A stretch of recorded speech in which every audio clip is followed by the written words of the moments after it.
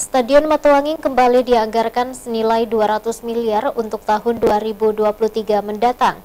Warga Makassar berharap pembangunan Stadion Matuanging bisa benar-benar terrealisasi.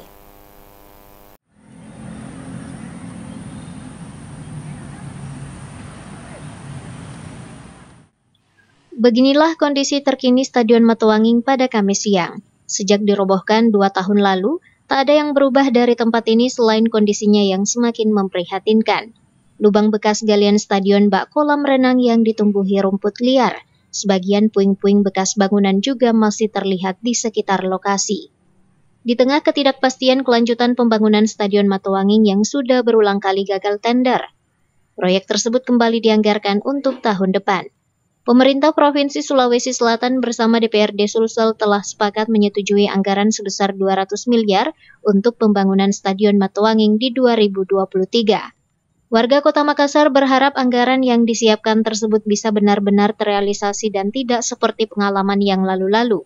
Pemerintah diminta membuktikan janjinya untuk membangun Stadion Matuanging yang baru selaku warga Makassar sih eh, berharap banyak, berharap banyak dan keputusan kemarin Insya Allah mungkin ke depannya eh, semua apa keputusan yang kemarin anu selesai cepat terrealisasi. Eh, kita pun tuh berharap eh, apa tim kembangan kita Makassar mempunyai stadion gitu supaya tidak musafir lagi di apa pertandingan-pertandingan berikutnya apalagi ini kan eh, Liga 1 eh, apa eh, kayak pertandingan resmi Indonesia sayang lah PC Makassar ini setelah sekian lama begini tidak mempunyai standar stadion toh DPRD Sulsel menyebut pembangunan Stadion Matuanging menjadi prioritas pada tahun anggaran 2023. Masyarakat Sulawesi Selatan khususnya Kota Makassar sangat menantikan hal itu.